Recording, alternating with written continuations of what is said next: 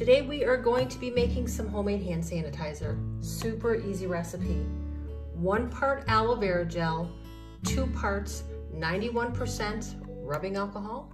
Mix it together, add a little essential oil if you'd like to make it smell better, and you are all set. So I'm gonna show you what to do. It's quick, less than a minute, and you're ready to go. Really easy, really quick. Two parts rubbing alcohol. I took a quarter cup of rubbing alcohol, twice, that's a half a cup of rubbing alcohol. And now I'm gonna do a quarter cup of aloe vera. So here is my quarter cup of aloe vera gel. I'm gonna just dump that in the rubbing alcohol, spoon it in.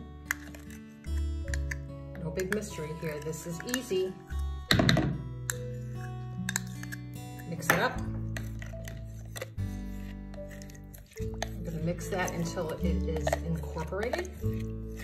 Now I'm gonna show you an easy way to do that. Dollar store, a container for ketchup or mustard, like when you have a picnic. I'm gonna transfer this liquid and gel mixture into here and shake it up. Okay, see it? Quarter cup of aloe vera gel, a half a cup of rubbing alcohol. If you wanna add some fragrance that you like that also has antimicrobial benefits, here's some lavender oil. You can use any essential oil you like. Super easy. See how it's still a thick gel? Now, I guess you probably don't want this in your purse or you don't want your kids taking a big ketchup or mustard condiment bottle in their backpack to school. So what I do is I buy these little things. These are from Target. This is one for salad dressing from the dollar store.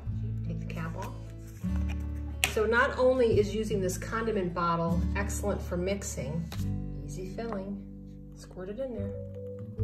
That, beautiful. It's mixed, it's a good consistency, super accurate dispensing.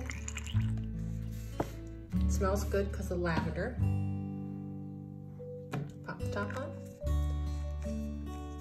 And you have made super effective, inexpensive, homemade hand sanitizer. Works good, smells good, feels good.